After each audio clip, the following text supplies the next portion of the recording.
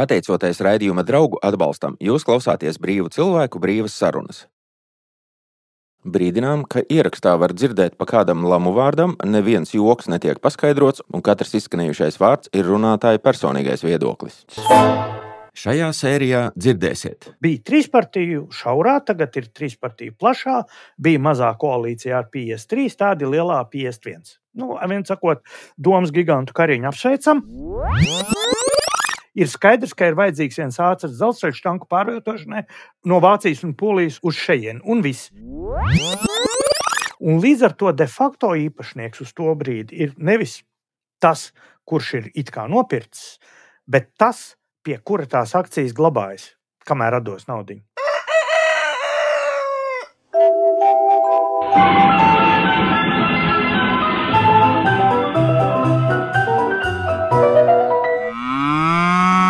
Jautājumi iz provinces. Ja? Jā, jautājumi no provinces.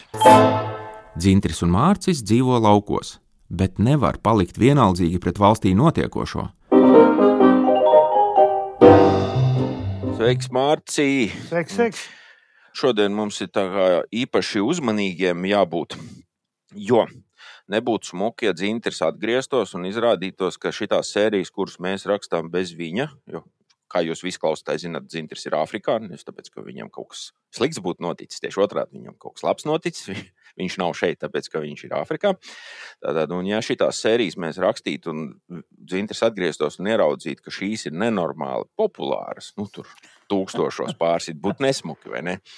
Mums Nē. jāraksta kaut kā tā pieticīgi, Nē, tā liesās kaut Nē, kā. ir jāuzmanās, es domāju, citu iemeslu dēļ. Nu, tajā brīdī, kad nespē, nav klāts un neiedod to nu, tādu iepaļojumu un brīžam tādu līdzsvaru un mierinājumu, tad tas mans ekstrēmisms labāk izpaužās. Un pēc iepriekšējā Twitter diskusijām var redzēt, ka tur bija nu, četras niknāk pa parasto. Ja? Tā varēja būt. Uh, Kas nozīmē, ka man ir izdevies nu, īstenībā diezgan ierasta lieta apkaitināt mūsu pašu atbalstītājus. Ja?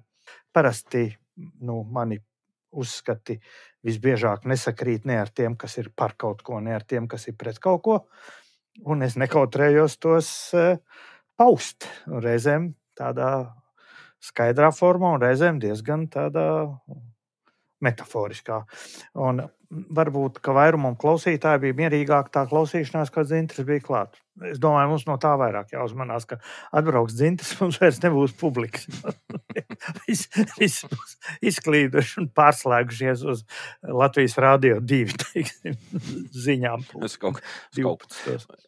Labi, cerēsim, ka mums tomēr eh, nedaudz izdosies eh, kādu dvēseli stīgu aizskart un tēmas, par kurām eh, bija nolemts parunāt.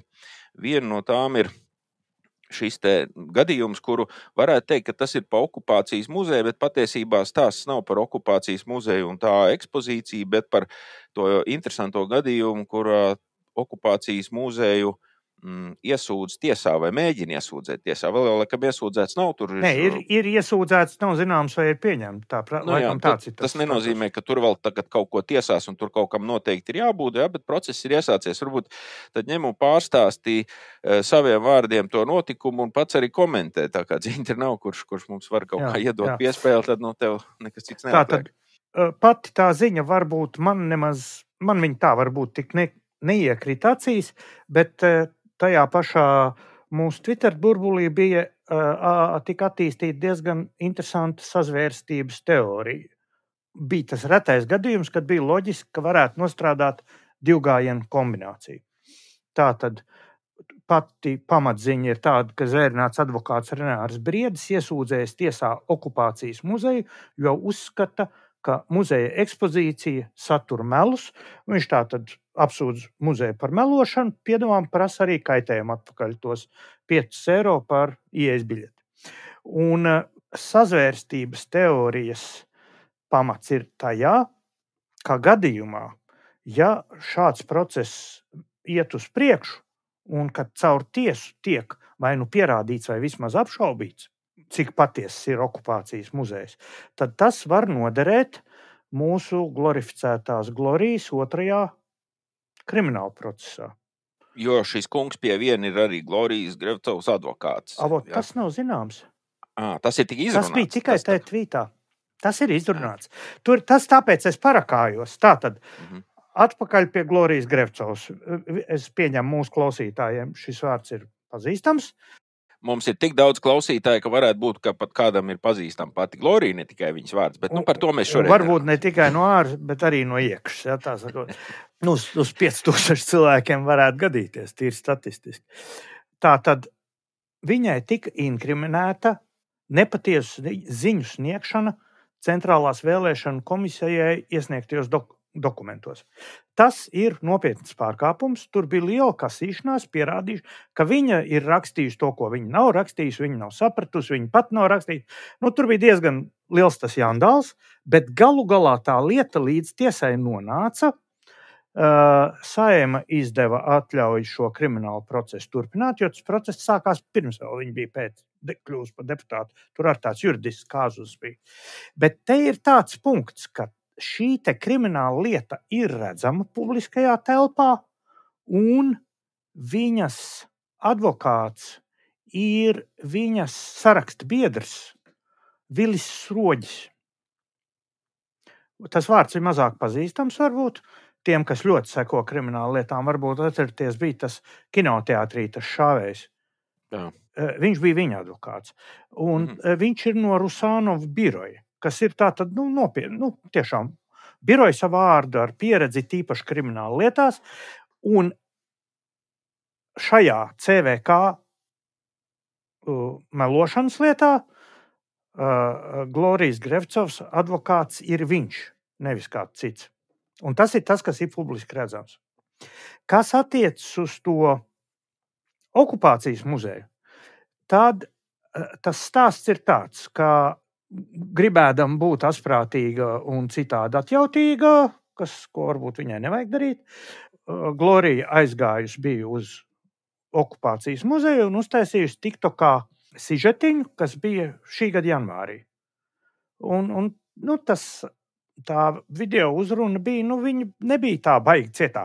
Šitie baigie mēļi, šitie baigi... Nē, viņa bija tāda, nu, traļi vaļi, bet, nu, kopumā viņas runas pamattēma bija, ka kāda tā ir okupācija, nekādas okupācijas nav bijis, un ka tas muzejs stāsta melus. Un te sanāk tie vārdi kopā ar šo te Renāru Briedi.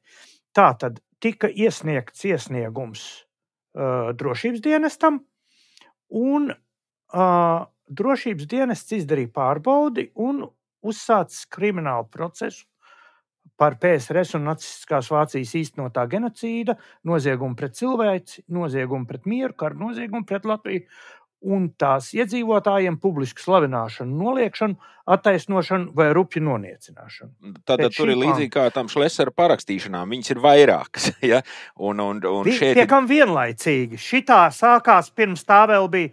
Tajā CVK lietā ir pirmās instances spriedums, manuprāt, otrās vēl nav. Un to tas nevar mainīt. Diez vai tas Nē. okupācijas muzeja gadījums vispār Nē, ir. par ar. CVK tur ir vienkārši ir tehniski pierādīts, ka ir iesniegts nepatiesas ziņas, kas ir Mhm. pats šī nozieguma sastāvs. Jā. Šajā te lietā, kas ir ierosināta 30. janvārī 23. gada, nav redzama nekāda jaunuma.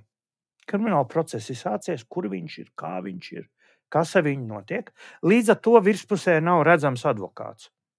Es šobrīd nespēju ieraudzīt to sakaru ar Renāru Briedu citu, kā tas, ka viņiem sakrīt tā ziņa kaut kādā punktā. Varbūt kāds mūsu klausītājs. Uh, Jā, tas, zina, kurš bija uzrakstījis, es, varētu es uzrakstīt. kā? atvainojos, es pēc vārdu vairs to mūsu klausītāju neatminu, uz kur Twitter. eh, i- Vai kā tagad ir jāsaka? Ja tas nav tvīts, kas tas ir juridiski? Es esmu par to, ka es, es kā Twitter eksperts varu teikt, ka es vēl joprojām par Twitter un viss. Un Tev cauri. ir kādi divi citi, kas nosauc tevi par ekspertu. Nu, viens Ā, būs tev trīs tu, bērni nu. Teiksim, Okei, ka tu dzīvotris tā. Nu, Zini, atbrauks no Tanzānijas, brūns apmierināts un neļausies lētām provokācijām. Labi, tā tad Twitters. Jā. Tas autors, kurš Twitterī bija šo divgājienu kombināciju mums piedāvājis, ä, varbūt viņam ir vairāk zināms. Man redzams ir tas, ka šis te ā, advokāts Briedis, zvērnāts advokāts Renārs Briedis, tātad cilvēks ar izglītību un ar pozīciju un iespējām, viņš ilgstoši un konsekventi iestājas par sabiedriskās pozīcijas maiņu attiecībā uz Ulmaņa 34. gada apvērsumu. Viņš to ir darījis jau vairāk kārt, tas ir publiski redzams. Šis nav kaut kāds negadījums viņa dzīvē. Nu, kaut kā cilvēks aiziet uz paģirām, kā man ir, kā izvelk kaut kur uh, tādu pūkainu uz teātru, otrā cēlienu vidū es izmostos. Un tam man saka, saku, pagaid, ko? Šitais ir Gogols, iet bekot. Nu, tā, tā nav. Tā, viņam tā ir konsekventa pozīcija. Un šī pozīcija lielā mērā saturiski sakrīt ar manējo. Un te mēs esam pie tā sākuma brīdinājuma, ka mūsu publikai visticamāk būs lielākoties cits viedoklis par to. Tu, tu tomēr ne, ne, nepalaidīsi garām iespēju pateikt šo. un, un, un tādēļ es ņemšu vērā tavu ieteikumu, un šodien par to tālāk nerunāsim. À, tomēr labi. jā, jā. Uh, bet ja šī tēma sanāk kopā, un tas ir vienkārši viltīgs gājiens, kā uztaisīt aizstāvības līniju, tad tas ir interesanti. Nu, man ir bijis darīšana uh, klientu vārdā sadarboties ar Latvijas izcilākajiem advokātiem dažiem, viņi māk taisīt divu, trīs gājienu kombinācijas tā divgājienu kombinācija nēsamība ir Latvijas politikā, tādēļ, ka tur nav gudra advokāta lielākoties, bet visādi pārpratumu gadījumu rakstur cilvēki. Ja. Uh, advokāti, tīpaši ar, ar, ar lielu pieredzi, ar savu mm, nu, biroju, ar sakariem tā tālāk, uzkombinē reizēm. Lietas. Un šeit tā kombinācija tāda varētu būt, ka, ja viņš attiesā savus 5 eiro no muzeja, uh, tad viņš saka, redz, muzejs atzina, ka tur viņiem viss nav kārtībā. Un tad Glorija saka, nu jā, bet reku muzejs atzina. Un advokātam bieži vien nav nekas jāpierāda, viņam jārada šaubas. Jo pierādīt var notikušu faktu. Fakta nēsamību tā tehniski pierādīt nevar. Mm. Un mums ar to šaubu radīšanu tiesā nemaz nav tik sarežģīti. Reku, te rodās šaubas, ka tas krievs, kurš ar lauzni iekrāva pa galvu Ukrainim, ka viņš ne, nebija tā domājis. Tiesa sāk šaubīties, varbūt viņš tiešām nebija tā domājis. Jā. Un viss, jā, un jā. viss viņš, jā, tā teikt, ir gatavs. Jā. jā, piemēram. Līdz ar to jautājums, es domāju, ka šis no uh, joka varētu pārslēgties uz divām ļoti nopietnām tēmām. Pirmā ir mūsu tiesu sistēmas stāvoklis, kurā regulāri viss kaut kas tāds notiek. Ja? Un kurā tagad uh, nu, šīs te mm, augstākās tiesas kundzītes sāk stāstīt, ka nevar nosodīt astras tiesātājus, jo un ko mēs varam zināt? Ja? Nu, nelietība vienkārši lien pa visām spraugām ārā nelietība no visaugstākajām tiesu instancēm. Ja? Nemaz nerunājot par to, kas tur pārpakš notiek. Ja? Tā ir viena lieta, un otra tēma tomēr ir 34. gada saistība ar 40. Es uzskatu, ka tur ir saistība.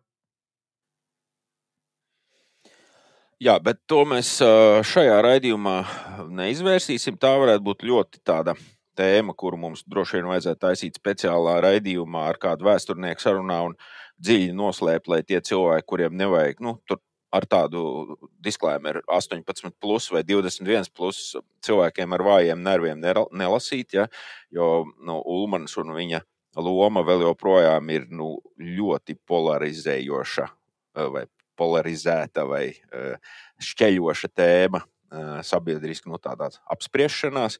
Dievs nedod kaut ko tādu iesviest Twitterī. Tas ir ne tikai ventilatorā, tur propellerā tur ielido uzreiz. Nu, šoreiz varbūt nesāksim, bet par to, vai šī ir divu pakāpju uh, kombinācija advokāta izpildījumā, tev pašam šaubas nav. Nē, man ir šaubas, man ir šaubas vai viņš vispār tur ir iesaistīts. Ah. Mhm. Jo varbūt tā tomēr ir sakritība kaut kā. Es viņu neredzu virspusē. Glorijai jau ir redzams cits advokāts vispār. Un kāpēc viņai būtu vienlaicīgi vienā un tajā pašā laikā jāstrādā ar diviem advokātiem, plus tam visam uh, tiesa nav, uh, lieta nav tiesā nodot vēl. Tā, cik es varu spriest pēc tā, ko es te, nu, es tik pa virsmu pašķirstīju tā brītiņu. Labi, Ejam tālāk. 234, 77, 667, brīvais telefons mūsu studijā. Uzdod mums jautājumus vai ziņo par nebūšanām savā provincē. Gaidīsim no tevis zvanu, izziņu vai WhatsApp. Brīvais telefons 234, 77, 667. Pagājušā nedēļā notika notikums, kurš pirmajā brīdī, kad izskanēja, kā prasījās uz tādu plašāku skanējumu, bet praktiski tika aizmirsts droši vien kaut kādu stundu laikā. Uh, ir runa par pirmo no jaunās vienotības kuģa, nezinu, vai grauzēju, vai kādu citu zvēru, kurš pamucis vai pamucināts no turienes. Kungs ar ļoti skanīgu uzvārdu Ceļa Pīters.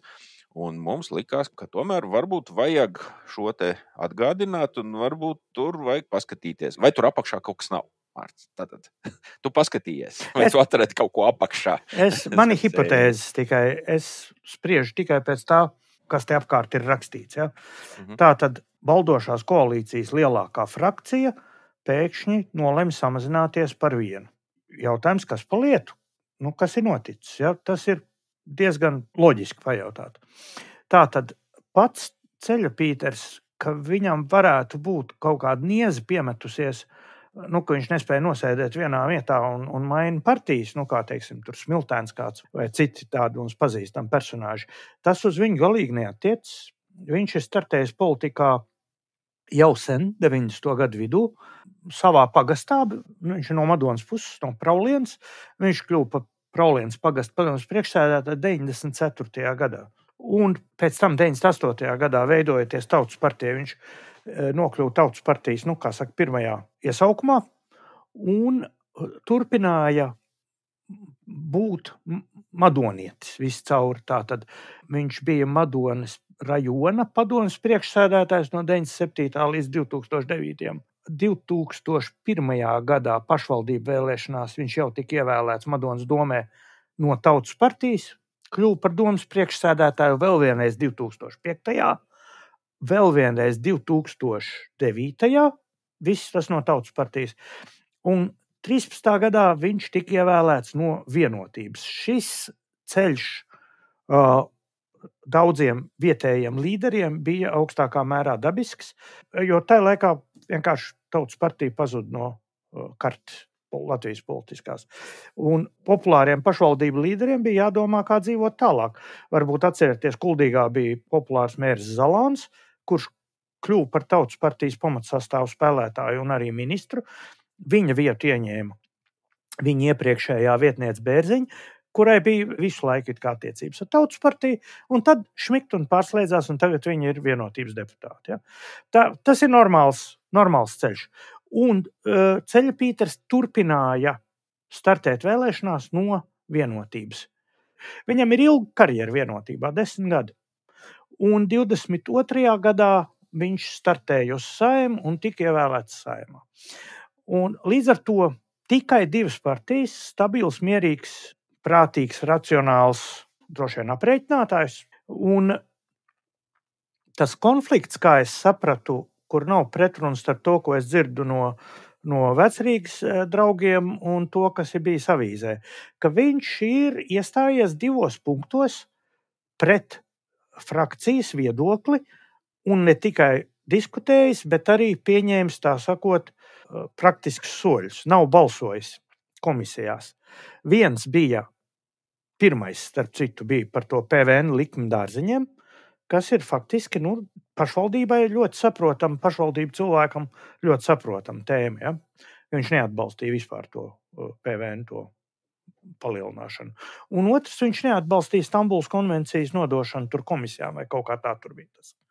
Uh, nu, viņš procedūru neizpildīja. Un šeit ir interesants moments, ka visa šī rezultātā nevis viņš izstājās no frakcijas, ko es biju kļūdaini iedomājies, bet viņš tika izslēgts no frakcijas. Un šeit ir tas, tie divi secinājumi, man nāk prātā tagad. Varbūt pat trīs. Viens ir personīgais par ceļu Pīteru. Uh, Es paskatījos, kāda ir bijusi viņa pozīcija jaunajā vienotībā uz tām vēlēšanām. Viņš ir vidzemes sarakstā startējis, un viņam ir bijis tikai devītais numurs Vidzemes sarakstā. Uh, Vidzemes sarakstā startēja Kariņš, Latkovskis, Siliņa, Čudars, ba baigie līderi. Ja? Un viņam pagājis garām vēl piedāvājumi ir Hosams Abu Merī uh, no 29. vietas, no pēdējās vietas sarakstā izstartējušais ar baigiem plusiem tur. Viņš gan ir pats arī dabūjis 500 plusiņus, apmēram vairāk nekā mīnus, kas viņam ir devis sesto vietu, no 9. uz 6. Bet redziet, tas ir pie situācijā, ka vispār astoņi no vidzemes ir ievēlēti. Tas ir ļoti daudz. Ja reitingi turpina tādu dinamiku, kādi tie ir vienotībai un kurus, uh, kur pikējienā varētu aiziet dēļ privātajām lidmašīnām šis un tas. Ja? No šādas pozīcijas viņš netiek nākošajā sējumā visticamāk. Viņam jādomā, kā dzīvot tālāk politiski. Cilvēks ir, kā sakot, pie vietas tajā zemē. Viņš pirmo reizi ir ārā no turienes tikai ar šo sējumu. Un viņam ir, viņš tur tiekas ar cilvēkiem. Un viņam noteikti ir kaut kādi, nu, vai nu vai viņi ir tehniski atbalstītāji vai tikai nu, domās atbalstītāji, noteikti ir nepriecīgi par dārziņiem. Un es varētu iedomāties, kas notiek tur vietējās kokzāģētavās, ja? ko tur Gatavečs domā par Stambulas konvenciju. Un ja viņš to ir atbalstījis ka tad nu jā, viņam viņš mūžam, beigās netikt atpakaļ pagastā vienkārši, ja šī tā turpinās maz, ka vienotībā. Jā, jā tie, tieši tā, ka, un ja viņam nav plāniņš palikt Rīgā, ja viņam nav tur kaut kāds parlamentārā pussekretāra amats vai kaut kas aizrunāts, vienkārši cilvēks skatās paga. Šitais nedara, man vajag kaut ko citu. Labi, tas bija stāsts par politiķu un deputātu grūto dzīvi, bet tālāk par ceļu Pīteru pašu varbūt. Tad. Nē, šis bija par viņu pašu. Ta, tagad par formālo pusi. Pēc šīs izslēgšanas trīs koalīcijas partiju frakcijās ir attiecīgi 25, 16 un 10 deputāti, kopā 51. Nu, plus vēl pastāvīgais atbalstītājs Buros, bet viņš nav koalīcijas līgumslēdzis. Ja? Un Rajau kungs, laikam, tur vēl skaitās vi, viņu tajā. Ok, tad viņiem ir 51 pilns un divi. Uz, nē, nu, Rajevs tā, da, viņš tā kā atdabūja ministrijā. Ja? Nu, viņš ministrijā arī nav ne partijā, nu, neko. Nu, viņš tur tāds brīvais. Nu, okay, bet tā ir droša balss. Buravam ir uh, amats saimā, nevis valdībā. Tad, tad, mm -hmm. tas ir citādi drusku. Uh, atceramies izcilā politiskā stratēģa Kariņa tēzes, ka iepriekšējā koalīcija bija par šauru. Tādēļ bija jātaisa plašāka, lai nodrošinātu dinamismu. Nu, un ir uztaisīta uh, nu, plašāk. Bija trīs partiju šaurā, tagad ir trīs partiju plašā, bija mazā koalīcijā ar 53, tādi lielā 51. Nu, viens sakot, domas gigantu kariņu apsveicam.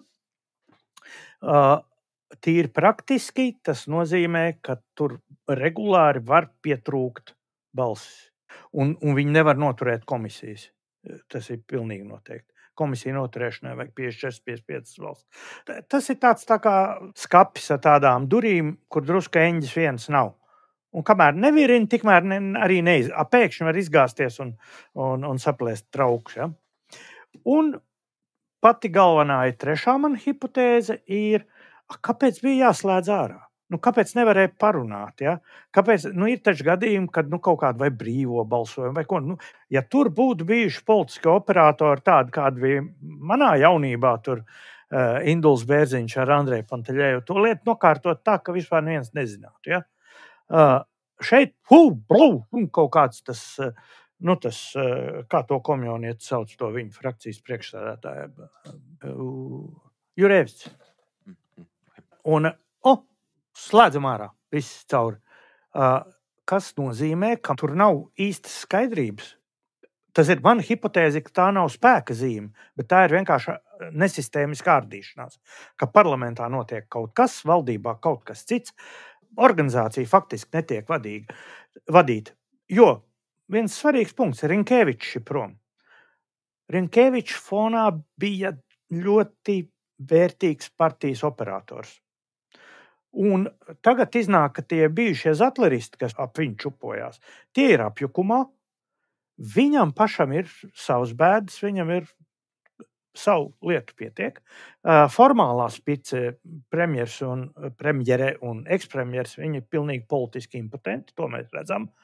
Nu, absolūti. Nekāda tur par kaut kādu organizēšanu runa nevar būt. Iespējams, ir, ka mūsu draugs Arvils vienkārši slaistās. Uh, Rērs patam laikam viņa pretnis ārdās. Reitingi varētu būt, ka nogāzīsies tūlīt. Nu, es, es pieņemu, ka šīs visas ir vājuma zīmes. Nevis. Tā nav konsolidācijas zīme. Mēs te izmetam sešķermeņus un tagad mēs turpsim. Nē, jūs, draugi, izskatieties pēc tādiem, kas nezin, ko dara. Un ko tas mums var nozīmēt? Vēl jau pagaidām, laikam, tā budžeta nobalsošana diez vai tur nošūposies. Nu, pietiek, bet... ka, trīs, ka trīs zemniekiem arī kaut kā neiepatīkās kaut kas. Un tad ko? Ja, ja tur pieaug, pieņemsim, kaut kā tā publiskā situācija, tāda, ka kāds no šiem zemniekiem izjūt to pašu, ko izjūt Andrēs Ceļpīters no Madonas, ka kāds no kurzemes zemniekiem ar tā sakot vairs negribu riskēt būt par to un to. Mēs te iztiksim bez epitetiem. Ja. Un, un man tas, ka tas nav neiespējami noturēt valdību, es atgādināšu gan Birkau valdību, kas fenomenāls lietas sastrādāja, un vēl jau vairāk Gaļa valdība. Abas bija tehniski mazākuma valdības. Ja? Abas bija mazākuma valdības. Bet uh, bija cilvēki, kas prata izstūrēt to. Jā, bet tie tumšie laiki, tas 19. gadsimts, cilvēki taču bija neizglītoti un nebija skolās gājuši. Un, un ko viņi saprata? No nu, tur kaut kādi sliktie divi tur visu varēja sakārtot. Tagad ir mums demokrātijas it vilni. Uldi un vēl visādas citas. Cit. Tagad ir. Tagad mums ir. Reku iedauzīja arī Andreja. Labi, ejam tālāk. Tā, Mārtiņ, uzdošu tev jautājumu. Smagu. Uh, jā, kur ir tā ministrija, kura klusē tad, kad snieg, kura mums tāda ir? Vai tu biji domājis nerunājošo klimatu ministriju vai, vai runājošo Rīgas mēru Čirsi, kurš nu, tagad vairs nav dzirdēts, ka viņš saka, ka sniegs Rīgā nemēdz būt. To viņš pirmajā gadā teica. Tagad nav dzirdēts vairs. klimata ministrija tā ir nu, vienreiz viena iestāde, ka tur tā kā bišķi tā kā mīnusā un tā rīktīgi sasniega un automašīnu sastrēgumu uz ielām, kūp zili dūmi un, un CO2 iet gaisā mutuļiem, vien mutuļiem, vien tā klimata ministrija paklusē. Bet šo te klusumu pauzi metās aizpildīt citi. kurš tad pirmais? Tas mūsu Mikiņš, mūsu Jā. raidījuma draugs. Un mēs neesam, laikam, vesels divas reizes briškani pieminējuši. Un tas tā kaut kāda nolaidība. Viņš par sevi atkal atgādinājis. Bija te televizorā par vilcieniem. Es domāju, ka šeit ir jābūt jaunai atklātības ērai šajā projektā. Šāda veida sabiedriski svarīgus projektus ir jāpārvalda caurskatām. Ir jābūt vienam spēcīgam, atbildīgiem. Nevis tā kā tagad, kad atbildība ir izkaisīta pa visu. Sāksim ar to uh, politisko slēpšanu. Šis ir cilvēks, tātad satiksmes jomā mums ir trīs smagas lietas. Tādas, nu, uzreiz skaidri, ja, ilgstošas smagas lietas. Viena ir tas elektrovielcienu iepirkums, kur mēs atpaliekam no Igaunijas pa desmit gadiem apmēram visā tajā projektā. Jau. Nu, Mums ir tā, ir. Tur, tur jau. Jā, beidzot ir. Bet kādēļ viņi nebija? viņi nebija sagadīšanās pēc, ka Briškens tur bija atbildīgais par to. Ja? Tālāk mums ir milzu problēma, finansu problēma ar Air Baltica. Reāli milzīga valstiska mēroga problēma. Tagad pielāgojam, šī freidiskā pārteikšanās ir novērojama visur, nevis ar Air Baltica, bet Rail Baltica. Nē, es sāku ar Air Baltica. À, labi, labi, labi. labi. Jo tad, viņš tad, tad tur ir bijis. Tā pārklausīšanās. Tev bija pārklausīšanās. Tā tad atkal, ja kādu tas ļoti interesē, man ir špikarī no viņa paša apstiprinātās no 2012. līdz 2020. gadam ieņēmis Nacionālās līdzsabiedrības Air Baltica padomus priekšsēdētāju vietnieku amatu. Trīs termiņu padomus locekļu vienniekam strādājis pie uzņēmumu restruktūrizācijas, attīstības, modeļa pasūtīšanas, privātu investoru piesaistes un kompānijas biznesa plāna Destination 20, 25. Atgādināsim, ka tajā biznesa plānā bija krievu lidmašīna pirkšana. Jā, ko viņš citīgi aizstāvēja. Viņā, jā, jā. Tātad astoņus gadus šis cilvēks ir darījis to, ka palīdzējis gremdēt Latvijas valsts finanses šajā sakarā. Un runājot par Rail Baltica, tur viņš ir uh, bijis no 14. gada līdz pat laikam šim laikam, un no 21. gada bija pa, pasažieru.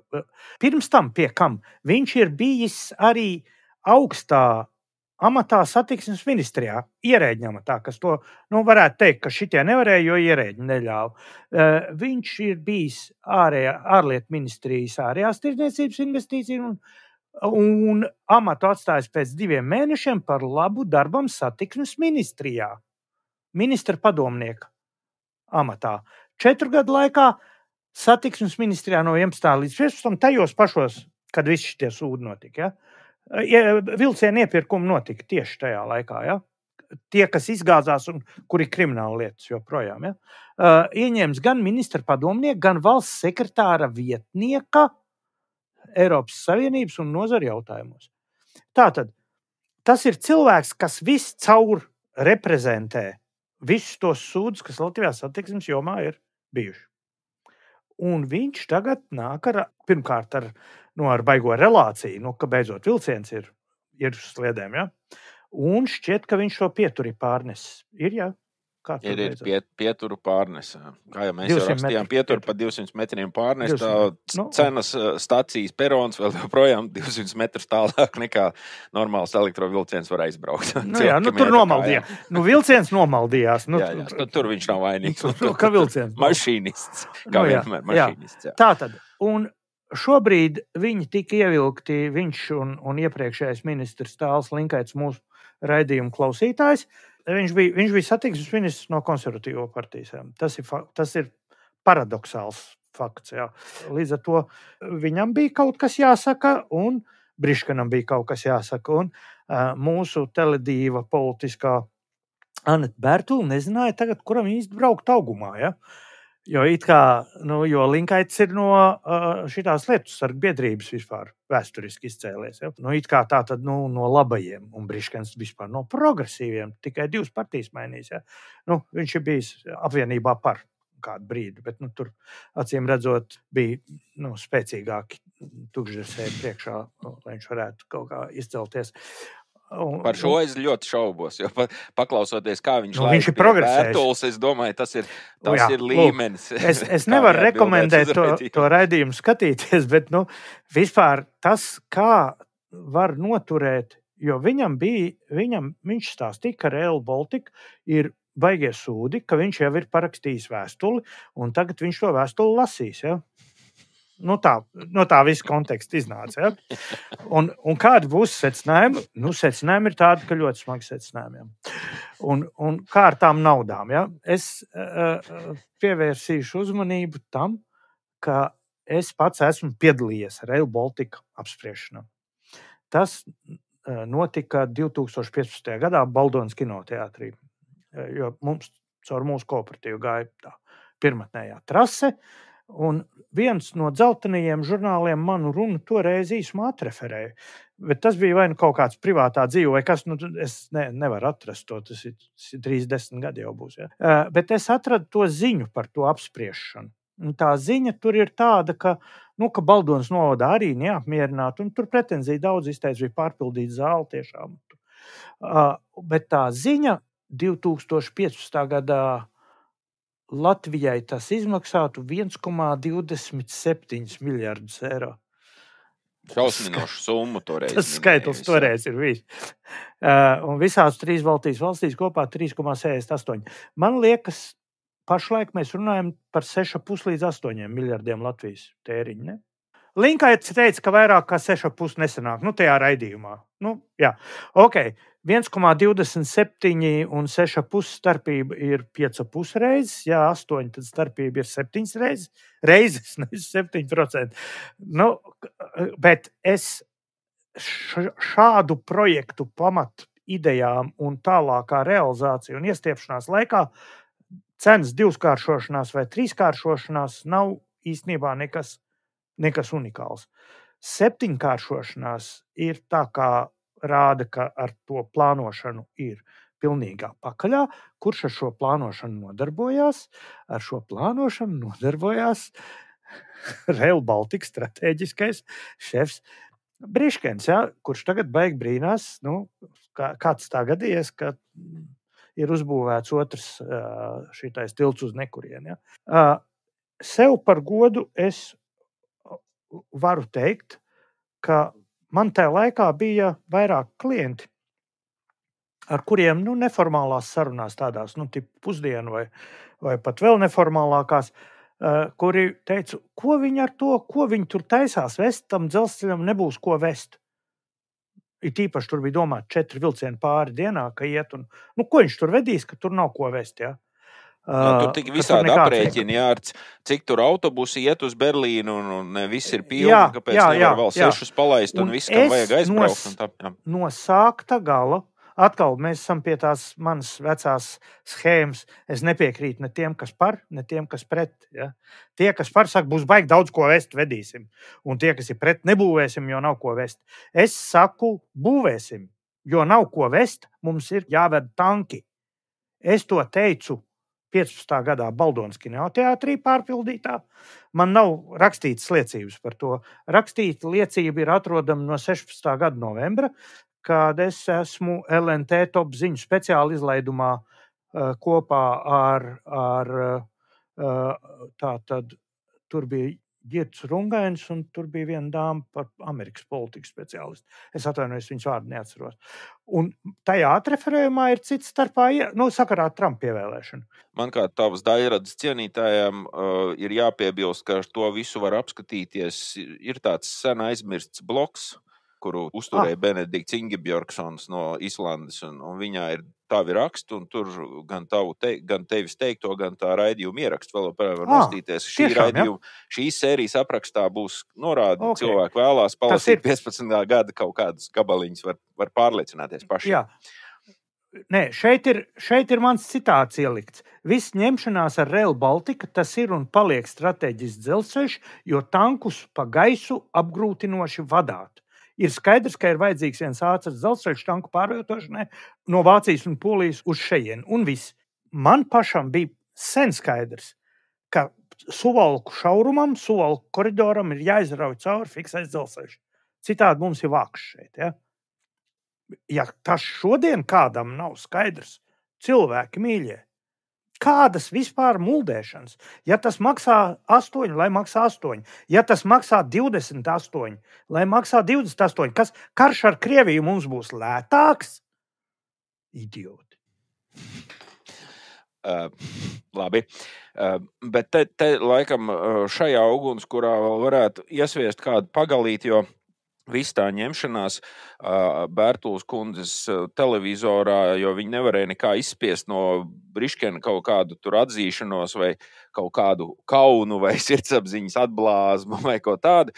Viss beigās noreducējās uz to papildus tam izdevumiem, tam līkumam caur Rīgu. Ja, kas arī jau toreiz, jau tajos 11. gados, bija pieņemts, teikt, kontroversāls jautājums, vai vajag vai nevajag. Toreiz tur gāja runa vairāk.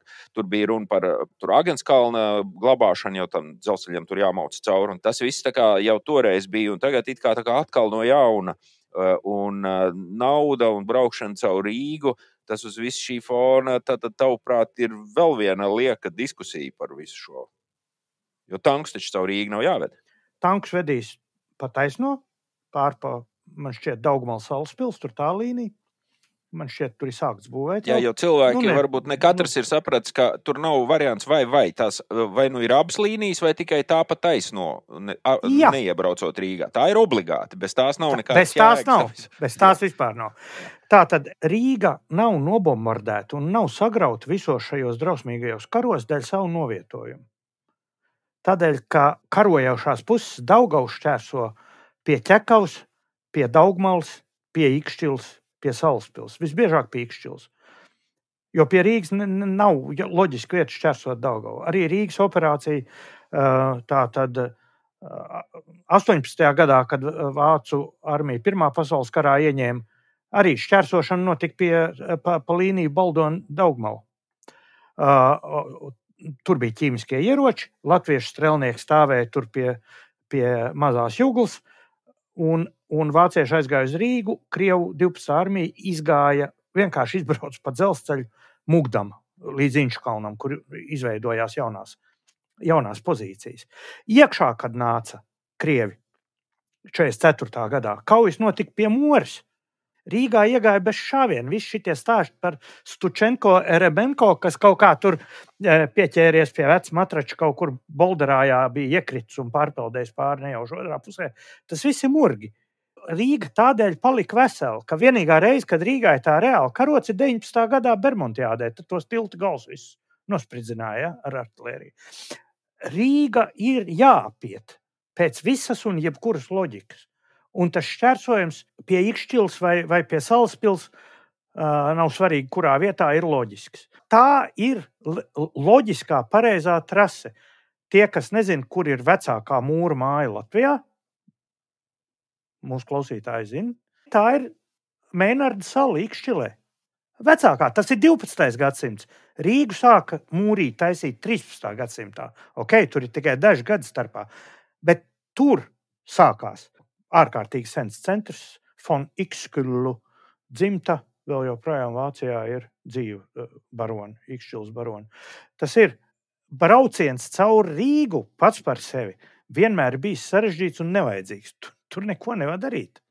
Bet tad ir jautājums, vai mēs kā valsts gribam piedalīties Rail Baltica projektā, no kura tiek izsvītrot šo valstu lielākā pilsēta un lielākais satiksmes mezgls. Nu, tas nevar būt īsti pareizi. Un līdz ar to ir jābūvē abi. Nu. Vienīgais, ko pavisam mēs uh, ziedojam, ir tas, ka tas būs kaut kāds nenormālais ātris vilciens. Tas tur neiznāk. Nu, viņš būs vilciens, ar kuru bez pārsēšanās varēs braukt. Ja? Bet nu, vi, viņam galu galā tajā ātrvilciena vari, variantā pieturu skaits tā arī bija paredzēts. Tallina, Rīga, Viļņa nu, un Varšava. Ja, droši vien ja tā to var uztaisīt, tas būs ātri diezgan. Un tomēr tas būs ātri diezgan. Uh, tas, tas īstais ātrums vilciens būs kravas vilciens, kur nevar pagūt, uh, paņemt koordinācijas, lai sašautu raķeti. Nu, viņam jābrauc tik ātri. Tas mūsdienās jau ir nu, pilnīgi iezīmējies. Nu jā, svarīgākais laikam tagad ir nevis caur kuriem palaist to dzelzceļu, bet kaut kā noturēt to briškenu no tām pozīcijām, kurās viņš varētu šito vēl no šīs vietas tālāk sačakarēt. Tas varētu būt tāds plāns vai mērķis. Šeit varētu izteikt pavisam savu tādu, pavisam minējumu, ne, nebalstītu neiekšā. Atšķirībā no, no viņu trakajiem priekšgājējiem, šitiem konservatīviem hunveibiniem, Brīškens tādā ziņā ir daudz drošāks cilvēks. Es domāju, tas, ko viņš var izdarīt, ir, nu, mēs redzam pēc viņa karjeras, ja? Air Baltica un visā pārējā. Ja? Viņš var ievilkt garumā jebko un neizdarīt neko. Tā, tā ir viņa stiprā puse. Ja tur kaut ko nepamainīs, nu, kas tur var būt par izcinājumiem? Redz, teorētiski varētu būt, ka ir sakarīgs premjerministrs un viņš pārņem savā ziņā to visu to pašu to nu, to vadības kompāniju. Aizsapņojās, Mārcis, aizsapņojās. Tā Latvija nav šo valstu sarakstā, kur varētu būt atrodams sakarīgs premjerministrs. Tā jau nebūs, ka mēs iedosim pretī nesakarīgu NATO šito ģenerālsekretāru, mums atsūtīs no kaut kādas smukas valsts vai nesakarīgu premjeru. Tā tas laikam nenotiks. Tās maiņas darījums nebūs. nu, jā, es, es, es domāju, ka Kariņu varētu iemainīt pret vienu dzīvnieku patvērsmes vadītāju vietnieku, varbūt, kurš varētu būt atbildīgs par attaisnoties par nepamatotiem izdevumiem. Kantori, ragi un nagi tur mācīja attaisnoties par visādiem izdevumiem. Labi, ejam tālāk. Te skan jautājums no provinces. Telefona radio raidījums, kuru Latvijā klausās katrs ministrs un katra deputāte. Nepaliec par vientulīti arī tu. Noklausies pats, Pārsūti redzījumu radiem un pastāsti kaimiņam, ko dzirdēji jaunajā sērijā. Izglābi draugu no garlaicības un nezināšanas, uzaicini viņu raidījuma klausītāju pulkā. Un tuvojoties šīs te eh, liesās sērijas laimīgajam noslēgumam, gribu atgādināt visiem klausītājiem, ka vēl joprojām katru nedēļu mums ir par šādai jaunai sērijai. Neraugoties uz to, vai mums dzintars ir vai nav, šonadēļ ir, nākamnedēļ būs un tā turpināsies. Visas sērijas ir klausāmas visiem. Tāpat arī visi var klausīties speciāli izlaidumus, kur varbūt kādam ir sajaukuši to prātu, kur tur viņus meklēt un kā. Viss tas ir turpat, kur šī sērija klausāms. Plus, protams, tiem dažiem simtiem klausītāju, kuriem mēs esam solījuši īpašu saturu, tas ir papildus saturs, un to var dabūt mūsu mājaslapā. Ja kādu interesē, lūdzu, kļūstiet par raidījumu atbalstītāju, ejiet uz mūsu mājaslapu, sadaļā kabinets ir vēl šis tas dzirdams bez šīm ikdienišķajām sērijām. Un kā jau tradicionāli šo sēriju pabeigsim ar mūsu rubriku Jautājums no provinces. Mārci, varbūt ievadam nelielu stāstu, kāpēc tāds jautājums, un beig beigās jautājums mūsu klausītājiem apdomāšanai. Jautājumi iz provinces. Jā, jautājums Aha. provinces. Jautājums varētu formulējumā īsajā būt tā, kur kalvīts ņēmis naudu. No kurienes kalvītam nauda? Jā. Vai arī nu, tā rupjā būtu, nu, ko piesaistīs kalvīts. Ja? Nu, tā, bet tā mēs neteiksim. vai Ne? Nē, nē, tu, mēs to pateiksim vēl kaut kā savādāk, bet tu pastāsti, kāpēc kalvīts un kāda nauda. Varbūt kāds nezina, kas tā pa kalvīšu naudu. Jā. Tā tad, vai es pieņemu, ka visi zina, kas ir Aigars Kalvīts. Ja? Tā tad Tautas partijas dibinātājs, bijis vairākos ministra amatos, bijis Tautas partijas premjerministrs. Uz to brīdi pirmais cilvēks, kas ir premjerministra amatā, esot uzvarējis vēlēšanas un veidojis valdību pēc vēlēšanām arī. No šāda viedokļa veiksmīgs premjerministrs, kurš sagaidīja uh, 2008. un 2009. gada krīzi, kopš kura laika viņš vairs nav veiksmīgs premjerministrs. Ja? Un rezultātā viņš cilvēks dabūja iet strādāt par taksistu. Nu, ne gluži par taksistu. Nu, cilvēks strādā, nu, ko lai dara. Nu, ja ne, nav veiksmes politikā, tad jāstrādā. Uh, strādā viņš Latvijas gāzē un ir pēkšņi paziņojums nācis, ka valdes locekļi, Kalvīts, Drēmani un Lapsalis, ir izveidojuši speciālu mērķu kompāniju, kas ir tīra tikai šim darījumam veidot, un šī te kompānija ir iegādājusies gandrīz 29% no uh, Latvijas gāzes akcijām. Tas ir uh, faktiski ir pārpirkta tā daļa, kas bija Luksemburgas investoriem. Kas viņi tādi bija, man šķiet, ka mēs nekad neesam īsti skaidrībā tikuši. Tā gaišā versija tāda, ka tie bija vienīgie, kas nav krievi tajā visā Varētu saimniecībā, būt. Bet Varētu būt. pierādīts nav. Neviens tur Nu klāt nav stāvējis. Jā. Un līdz ar to tas akciju sadalījums ir, ir tāds, ka Gazpromam ir tie paši 34, kas bija kādreiz. Uh, Sija Itera Latvija, kas ir tas pats Gazproms tikai uh, nu, tādā skaidri čekistiskā iekrāsojumā, vai teiksim latviski Juris Savickis, tie ir 16%. Tas ir šai grupai vienalga pieder 50, un Savickim pieder Uh, nu, ja ne gluži reāls veto tiesības, tad praktiski pieder. Ja? Tas, ka tas ir īsts darījums, netieši norāda tas, ka uh, no Latvijas gāzes padomes ir atstādinājušies trīs tās līdzšinēja locekļi, kas visi bija iepriekšējā īpašnieka pārstāvs. Ja? Tā tad, lai nopirktu Latvijas gāzes akcijas, tomēr nauda ir jāmaksā. Nu, viņas nevar tāpat uz godu vārdu dabūt. Es nezinu, cik ir tā akciju cena, jo plus tam visam viņa ir, tas ir darījums starp divām pusēm. Tas nav biržā, tas nav tā, kā viņš Jā. uh, būtu tur par Ā, zināmu skaidrs. Jā, bet jebkurā gadījumā apmēram skaitļi, lai saprastu, ka apgrozījums 22. gadā Latvijas gāzē bija virs 700 miljoniem un peļņa virs 40 miljoniem. Jautājums, cik gadu peļņa ir ielikta cenā? Ļoti mēreni būtu skaitīts septiņas peļņas. Vidēji būtu kaut kāds desmit peļņas. Ja? Jo skaidrs, ja tu šogad nopērci, un astoņos gados tev tā nauda atnāk atpakaļ, tā ir ļoti izdevīga investīcija. Ja? Tā tad septiņas peļņas būtu nu, vispār, kā saka, draudzīga cena. 7 reizes 40 ir 280. 30% no 280 ir drusku pār pa 90. Ja? Mēs runājam par kaut kādu 100 miljonu darījumu, mērogam. E, es nezinu precīzo cenu, bet tas nav desmit, un tas droši vien nav miljards. Bet tas mērogs ir 100 miljoni. Jebkurā gadījumā viņiem pa trījiem ir jānoliek tie 100 miljoni galdā. Tajā mm, investīciju žargonā to sauc par management buyout, ka menedžments izpērk kompāniju. Un menedžmenta izpirkšana ir klasisks, tūkstošiem reižu lietots, ļoti pazīstams instruments. Tādā veidā akcionāri, kas saprot, ka viņi īsti netiek galā vai negrib tikt galā, un viņi satiek pārvaldniekus, kuri saka, nē, mēs zinām, kā. Un tie atpērk tās akcijas, bet viņiem kaut kur ir vajadzīgs finansējums.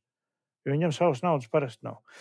Šādam drošam uzņēmumam, kā Latvijas gāze, kā drošība var būt akcijas pašas kā tādas, ka es pērku šos te procentus akciju, un man naudu aizdod kāds, kuram šīs akcijas pa labu tiek ieķīlāts, izmantots kā nodrošinājums. Un līdz ar to de facto īpašnieks uz to brīdi ir nevis tas, kurš ir it kā nopircis, bet tas, pie kura tās akcijas glabājas, kamēr rados naudu. Un šis ir interesantākais jautājums. Jo, ja izrādās, ka akcijas kā nodrošinājums ir nodotas iestādē, kurai ir kaut kāda saistība ar Gazprom vai ar ITER, tas nozīmē, ka īsnībā Latvijas puses kontrole pār uzņēmumu ir pilnībā zaudējusi.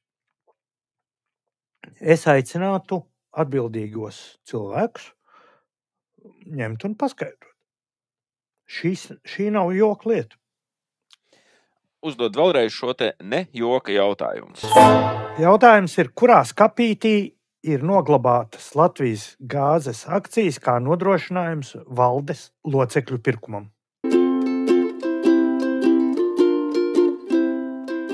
Ar šo arī pabeigsim mūsu sarunu. Sūtām sveicienus dzintrim, domās. Domās sūtām sveicienus dzintrim.